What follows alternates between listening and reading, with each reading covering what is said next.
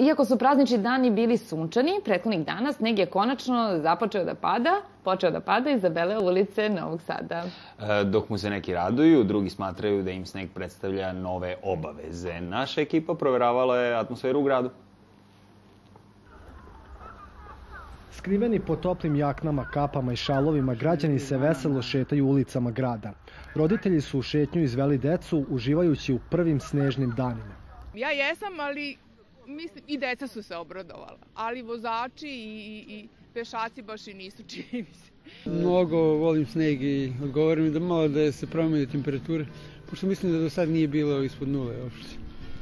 Tako da ovaj, sve je okej. Okay. Lepo mi je što je sve konačno počeo da pada, ali mislim da je atmosfera onako dosta slaba. Mislim da možda bude bolje.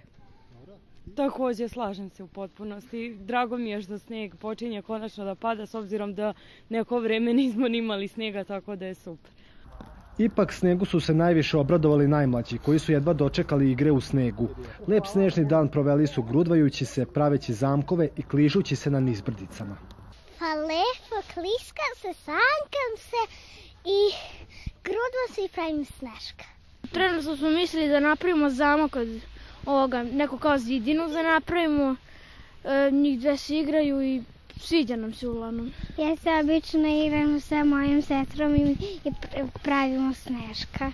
Pa grudvamo se i pravimo sneška, uglavnom. Kad pada sneg, inače ja i moj brat pravimo neku kulu, pa onda ja prodajem neke kugle, a on kupuje. U pravoj zimskoj idili građani će moći da uživaju još nekoliko dana za kada meteorolozi najavljaju prestanak snežnih padavina i zahlađenje.